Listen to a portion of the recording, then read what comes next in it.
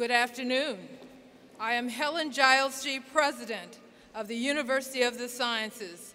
Welcome to the 192nd Commencement Convocation of the University of the Sciences in Philadelphia.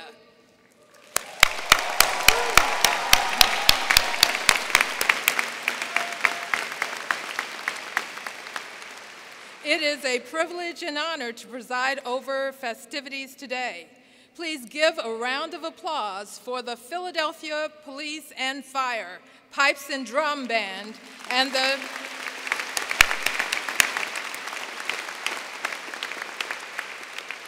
and the Clarendon Brass Ensemble.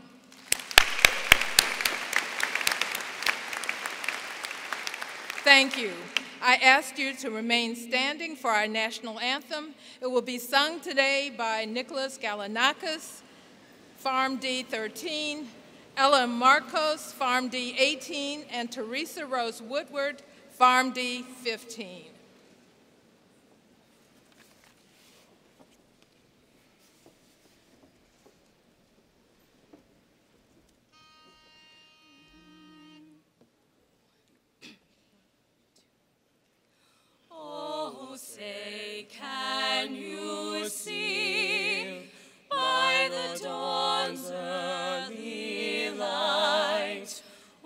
So proudly we hailed at the twilight's last gleaming, whose broad stripes and bright stars through the